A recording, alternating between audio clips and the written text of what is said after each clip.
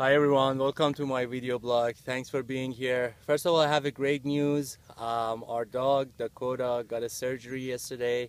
He had a ruptured spleen and um, we decided to take him to the hospital.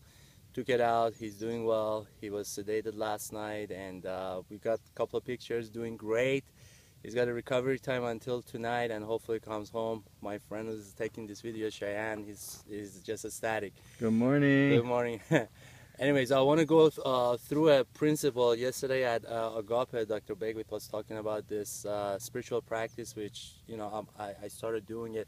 I want to paraphrase it in a very simple format so you can really take it to heart. Um, the cycle of breathing, when we inhale and when we exhale, creates a, a, a cyclical circle for you, and it can put you in the present moment. The inhalation is affluence, is your I am presence. It's the state of your being. So when you inhale, you declare a, st a state of being. So you inhale and say, I am abundance. This is the first thing in the morning when you wake up and you're present to your to your breath. You do that as your in inhalation, your affluence. And then when you exhale, exhale E for effluence. And your effluence is what am I trying, what am I giving to the world? What, what, whose prayer am I answering?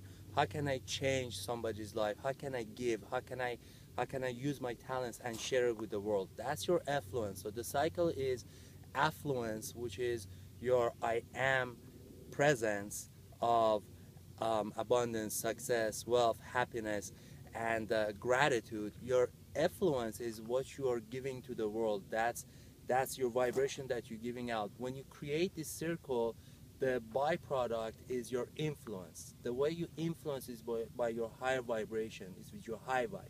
That's your influence. So your affluence, I am presence, affluence, what am I trying to give to the world? How can I change uh, somebody's life?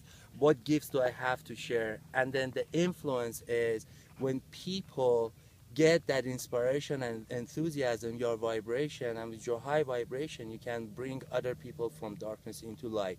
And that's pretty much the whole concept. You can practice this during the day and the entire time stay in gratitude. You know, we're not always grateful for everything, but you can be grateful in all things. That's his saying. I'm paraphrasing it. I love this man, Mike, Dr. Beckwith is, is, is, is one of my spiritual masters and guidance. So thanks for being here. I love you guys. Till next time, trust and love yourself.